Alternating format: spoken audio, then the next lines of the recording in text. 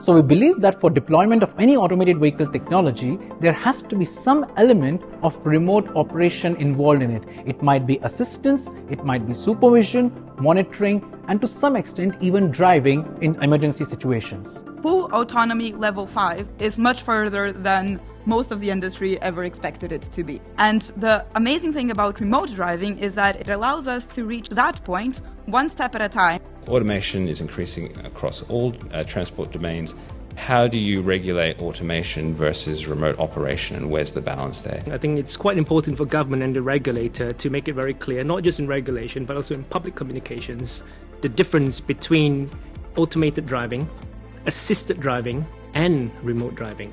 The challenges of uh, remote driving, connectivity is the one that people are probably most obviously thinking about because you can't even have remote driving without the connectivity in the first place. And the human factors element also really shined through. One of the reasons why we still have so many un- unanswered questions is we don't have a lot of deployments, right? So I think it's just really important that we keep having these conversations and making sure that we don't try and, I guess, reinvent the wheel where processes that have worked really well. The issues with the current law, there are essentially three of them. One is that the current law is very uncertain, and uncertainty creates problems for worthwhile projects. And there's also an issue with accountability. Should the driver, the remote driver, be responsible for things that are outside their control? From a UK civil aviation perspective, there are many challenges. One that we think is significant is the societal expectation of flying without a pilot on board the aircraft. At least in the legislation as it stands, if it's remotely piloted, there is a remote pilot. And the starting point is you've just taken the role of the pilot and you've just moved them to a different location. And one of the real challenges is going to be well, actually, is their involvement less than a traditional pilot?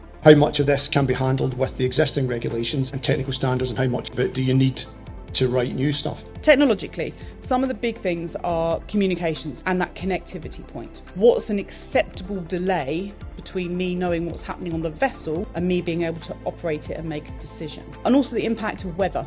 If there is business and a revenue opportunity, then a mobile network operator is very interested in delivering a connectivity solution. It's not just latency of the communications channel. It's the uplink and the downlink. And there are different quality service requirements necessary for remote driving based upon which you're talking about. For us, automated driving system is the focus, but remote operation, we also see it as something that can be very helpful. And we see that remote assistance is allowed according to the new European regulation. The dilemma we have is the speed at which an international change takes place with those regulations and the speed at which a domestic change in regulations takes place. If we're going to move this forward, there's an openness to change that's required.